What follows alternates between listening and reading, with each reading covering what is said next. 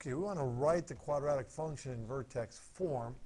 Problem is we have a leading coefficient. So what we're going to do, let's get rid of the 1 first, and we'll subtract 1, subtract 1. So we get y minus 1 is equal to 3x squared minus 12x. That leading coefficient has got to go. So let's just factor out that leading coefficient. y minus 1 is equal to 3 times x squared minus 4x plus, and let's set it up so we're ready to complete the square. All right, completing the square we know is fairly, fairly easy. We're going to take the middle term, negative 4, take half of it, and double it, or in square, I'm sorry, half, take half of it and square it. Negative 4 divided by 2 is negative 2, squared is going to be 4.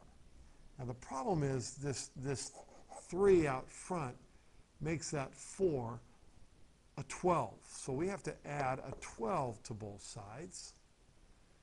And we now have the equation y plus 11 is equal to 3 times, and this is a perfect square, so this can be x minus 2 quantity squared.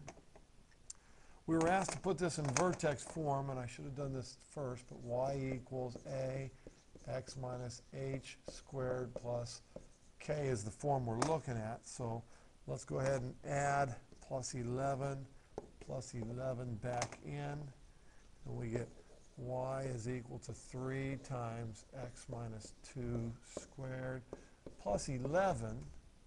That's my vertex form, so then my vertex now is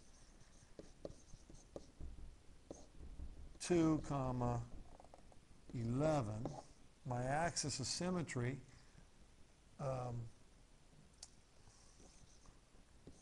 axis x is equal to 2. And from there, it would be easy to graph if we needed to.